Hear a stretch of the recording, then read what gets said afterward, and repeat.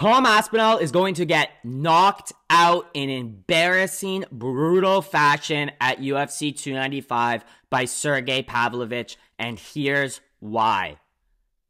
Everything is in Sergei Pavlovich's favor for this matchup. Yes, Tom Aspinall is a more well rounded MMA practitioner, but he does not have the style to beat Sergei Pavlovich. In honesty, I don't know who does. This is how the fight's gonna go. Tom Aspinall has already shared his game plan, and honestly, it's the only game plan that gives him even a slight chance of beating Sergei. He has admitted he does not want to enter the pocket with Sergei Pavlovich. He does not want to trade with the man. He admits he's the most scary fighter in the UFC. To him, Sergei Pavlovich does not share that mentality about Tom Aspinall. Yes, he considers Tom Aspinall a dangerous threat. He does not consider him the most dangerous man in the UFC. I would hazard to guess Sergei Pavlovich considers himself the most dangerous man in the UFC. There's point one mentality. The mental state of these fighters is big, and especially at the top level, when minuscule things can change the outcome of a fight. Sergei Pavlovich's mindset is a big difference maker in this one. Tom Aspinall thinks he can lose. Sergei Pavlovich knows he can win. Humility is a good trait, but being overly humble is bad for a fighter. It shows a weak mind. And Tom Aspinall is overly humble, and he is also surrounded by a team like his father and stuff who make excuses for him. This is all a bad sign. Furthermore, he's unprepared for the fight. And I know sometimes a short notice camp can actually benefit a fighter. Like Bisping has talked about this, and other fighters have talked about this. How not having too long to focus on it actually helps them. It's not the case for Tom Aspinall. And also, Sergei Pavlovich has been training as a backup for months for the heavyweight title shot. Everyone's saying that Tom Aspinall is going to mog him cardio wise. I do not know what you're basing that off of.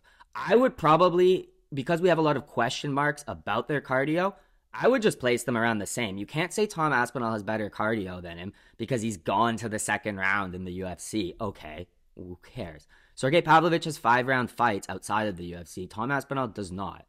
Like Sergei has three round and five round decisions, and then all first round knockouts, and then a third round loss to Overeem. And that Overeem thing is a big, big factor in what is uh, influencing people's picks in this fight. Oh, a washed over Overeem ragdolled Sergei Pavlovich. You don't think that in the five whatever years since that fight, Pavlovich has made adjustments? He was like 24 25 years old when that fight happened. He's improved massively since then. He talks about how he focuses on wrestling.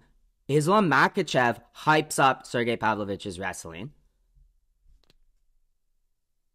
Just because Tom Aspinall is rugby tackling long, freaky limbed Volkov and ragdolling fat heavyweights like Jailton Almeida, the light heavyweight, can do, doesn't mean he's going to be able to do that to a real heavyweight, which leads us to another advantage here. Sergei Pavlovich has a real weight advantage over Tom Aspinall. Tom Aspinall weighed in at 258 in his last fight against Curtis Blaydes, which ended in a loss for him.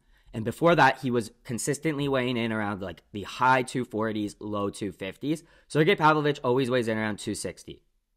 He has the real heavyweight advantage in this thing with a few pounds of muscle, which obviously translates to crazy power advantage. Sergei Pavlovich has a crazy power advantage over Tom Aspinall. Tom Aspinall, yes, has hand speed advantage when it comes to boxing, and obviously a more dynamic striking arsenal with his kicks. I do not think he's going to be relying on the kicks because he's still admitting to knee issues.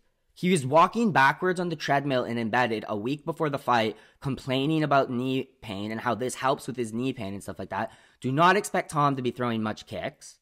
And don't expect his footwork to hold up either. So he's got those advantages, like a slight boxing hand speed advantage. Sergei's power and precision more than compensate for that to me. Hence why Tom knows boxing's not gonna, boxing with the guys, not gonna pay off for Tom. Tom doesn't hit anywhere near as hard as him. Yeah, he can knock out Tybura, TKO. It wasn't a knockout even. Just put Tybura on his butt. Anyway, Sergei brutalizes people. Tom knows this. The reach advantage is crazy for Sergei. Sergei has a six inch reach advantage, 78 inch reach for Tom to 84 inch reach for Sergei. It's crazy.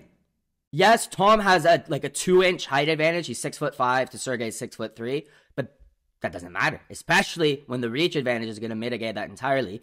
And Tom's game plan suggests he's going to allow Sergei to put him on the back foot. That's very bad. Whoever gets the other on the back foot in this fight probably wins. But Tom's already admitting that he's not going to do that because he's scared of getting to the pocket. Sergei's not just going to let him back him up. He's not Curtis Blaydes. He's not just going to back up and try to box off the back foot. He's going to push right in. Hey, he wants a war. Is exactly what his game plan is. And this is a big thing. The game plans favor Sergei.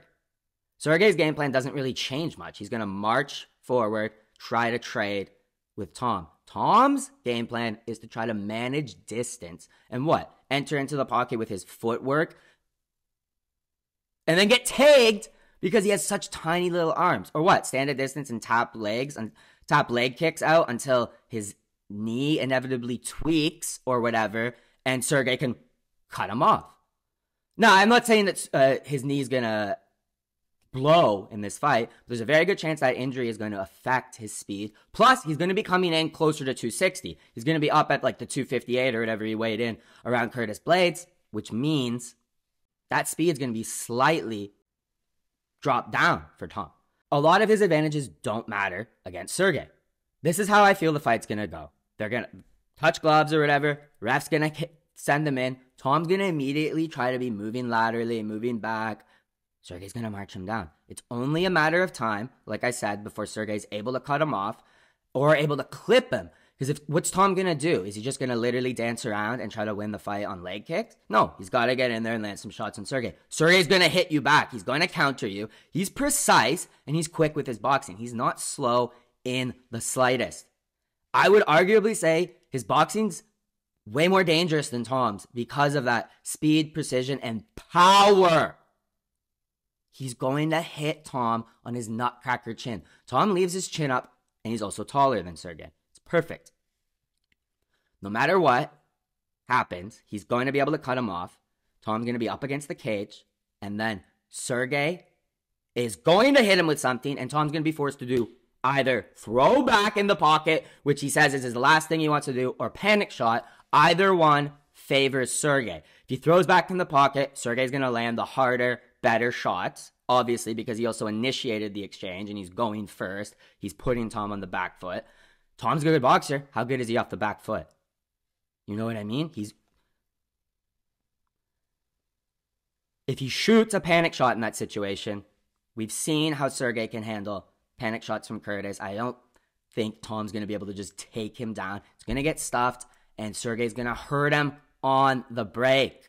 Bad Tom's gonna stumble into the cage and just get his face smashed in as he covers up. You can't cover up against Sergei. Everyone knows this.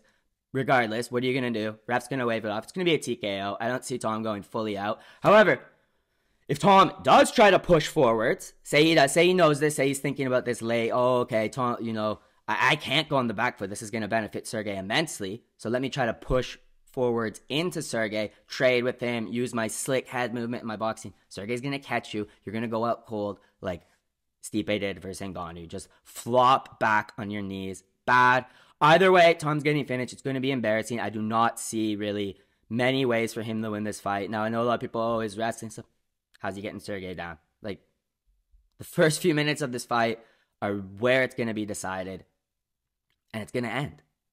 Anyway, let me know what you guys think about the fight. This is a very controversial fight, of course. People are very passionate about their picks. I like it. UFC 295 is going to be fun. For this, I'm going to put out a video on Jiri Prochazka and Alex Pereira, my thoughts, my detailed thoughts on that tomorrow. Um, if you enjoyed the video, drop a like. And if you're new to the channel, subscribe. I post a wide variety of MMA content. I'd like to give a big thank you to all my channel members. Without you guys, the channel would not be possible. And a special thank you to all my Lion tier members Cultus Gordon, Uniform Down, Ninja Choke, Mexican Gnome, Clarence, Mike Brannigan, Javier, Cobra Kai, Pigger, Patrick Call, Droid C, John Paul DeHoria, Palpadink TV, Calico, Jack Clash, High Cap Native, Wings of Heart Problems, Boss Skaggs, RC Cola, and Bubster Johnson. Dime Bobby. Dime, mami.